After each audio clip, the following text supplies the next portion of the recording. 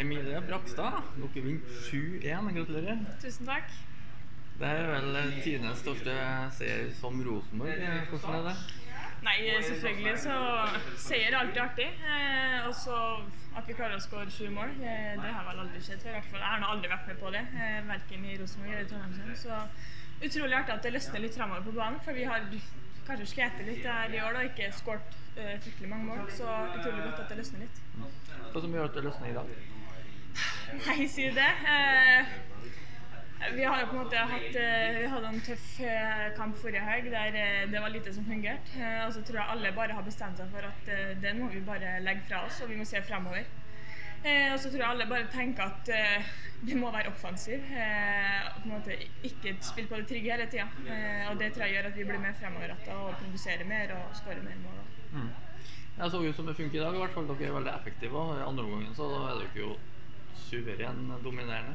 Ja, eh, andre omgangen eh, var en rolig affære. Eh, Vi har mye ball, og de skaper fryktelig lite. Så det er godt at vi klarer på en måte å holde, holde ballen i laget og spille vårt spill. Så veldig, veldig deilig.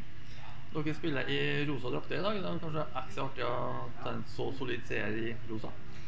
Ja, så Hadde vi spilt i hvite hjemmedrakter, så tror jeg vi hadde syntes at den serien hadde smakt eh, godt uansett. Men eh, nå som vi har rosa tredjedrakter, så er det fint at vi får brukt dem i oktober for å støtte rosa sløyfeaksjonen. Mm. Eh, så blir det et mål fra midtbanespiller Brakstad. Ja, i dag var det midtbanespiller. Jeg har jo spilt litt overalt på banen. Eh, I dag fikk jeg muligheten fra midten, og det er jo en posisjon jeg trives i. Så har jeg på en måte som stopper tidligere i år hatt muligheten til å skutte, men da har jeg valgt å ikke gjøre det. Så i dag så tenkte jeg at man må bare prøve. Det blir i hvert fall ikke mål hvis man ikke prøver. Eh, Så da, da ble det et mål på skudd i dag. Jeg kan du beskrive situasjonen? Hva du tenker akkurat der? er det? Nei, jeg får en ball fra Julie, og så får jeg en god touch. Eh, og så er det ingen som går på meg, egentlig. Eh, og da tenker jeg at jeg vet hvor målet er, det er bare å se på ball, og så prøv lykken. Eh, og da, da gikk den i mål. Ja, Det var jo meget pent. si. Ja, takk for det. Eh, mål er mål, men det er artig å, artig å skåre sånne mål òg. Du har skåret tre mål i år. I fjor fikk du ingen. Nei, ett minus ble det i fjor. Skåra sjømål. Så det er bedre på målkontoen i år enn i fjor. Har du noen forklaring til det? Nei, det er nok to på corner. Altså. Jeg syns egentlig vi har forbedringspotensial på corner uansett. Vi syns vi skårer egentlig for lite ut ifra antall cornerer vi har. Eh, og så har vi nå fått to mål på corner og fått et, eh, en skåring på skudd òg, så eh, Hva som er årsaken til det, det er litt vanskelig å si.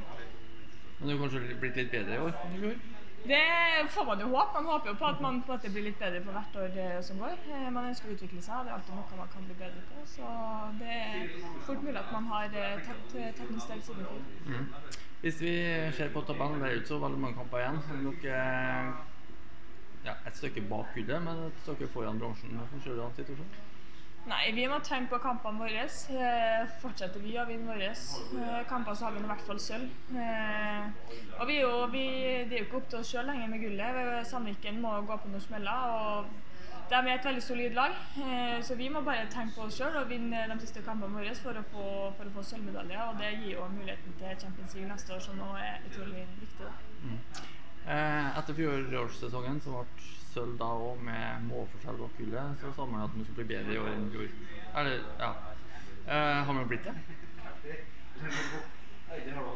Det er litt vanskelig å si. da. Vi hadde nå åtte uavgjorte i fjor, og nå har vi to tap. Eh, så hadde vi på en måte hadde vi på en måte spilt med de samme poengsummene i sånn, Hvis vi ser på i fjor, da, så hadde vi jo på en måte tatt gull med de poengene vi hadde, har nå. da. Eh, så jeg tror bare at det, det er flere lag som på en måte har gjort det bedre, eh, og det er litt jevnere. Det man taper, eller Du har Sandviken, og de er ganske solide. De har én uavgjort. Eh, så det er kanskje litt jevnere i år enn det var i fjor. da. Mm. Hvis det ender med sølv, eh, er man skuffa over årets sesong?